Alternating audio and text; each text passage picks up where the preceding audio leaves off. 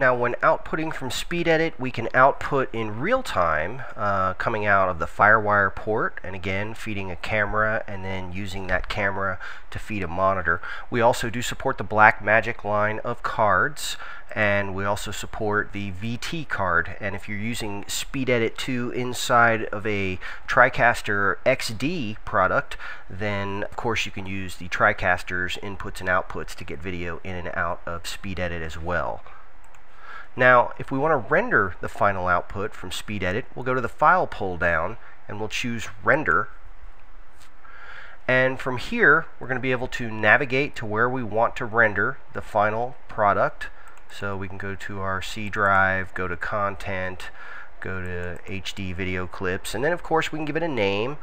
Go ahead and call it Lightwave Montage. And now I can choose the format or I can choose a preset. Now the formats allow me to choose Flash or uh, MPEG 2, MPEG 4, uncompressed, QuickTime, AVI, DV, WMV. Uh, I can also compress down to audio formats like MP3 and WAV. You can also choose a preset allowing you to go out to a TriCaster DDR uh, with and without alpha channel. We have some DV presets for going out in NTSC. We have NewTek's Codec Speed HQ allowing you to go out in standard def or just go out in the project size. So we can go out in standard def or high def, of course. Uh, we can go out uncompressed. We've got some PAL presets and even some presets for things like Nintendo Wii and YouTube. So a lot of different presets in here. And you can, of course, create your own custom preset using the Customize window and then save that preset. So have uh, that preset to work with from that point forward. Once you've chosen your preset and finished customizing it, you're ready to render by hitting the render button. You'll see the render window come up, and when the render window is complete, your final render is ready for playback. You have a few other options when exporting. Well, we do have the ability to render out just a still image. So instead of rendering the entire video, we can choose uh, just one still that we want to render and render in a variety of file formats.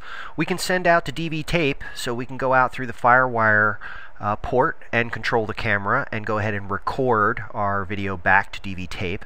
We have the ability to import and export an EDL or edit decision list so we could export our project and then load it up in another nonlinear editor.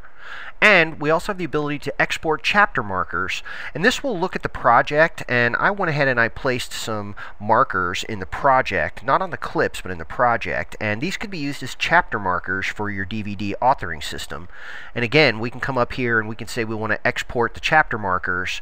We can choose where we want to export them to, and it's going to go ahead and export a file that can be used by DVD authoring systems and uh, automatically put your chapter points into your video.